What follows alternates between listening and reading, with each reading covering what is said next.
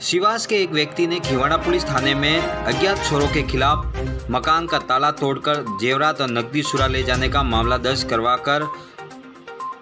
Police कार्रवाई करने की मांग की गई। खिवाड़ा पुलिस थाने के शिवास निवासी रामलाल पुत्र पुआराम शिवरी ने दी रिपोर्ट में बताया कि मेरे मकान में अज्ञात छोरों द्वारा मकान का ताला तोड़कर नकदी एवं जेवरात तथा मोटरसाइकिल चोरी कर ले जाने का मामला दर्ज करवाया गया है। पुलिस ने व्यक्ति की रिपोर्ट के अनुसार मामला दर्ज कर कार्रवाई हेतु जाँच शुरू की गई एवं अलग अलग टीमें बनाकर अज्ञात छोरों का पता लगाने में जुटी।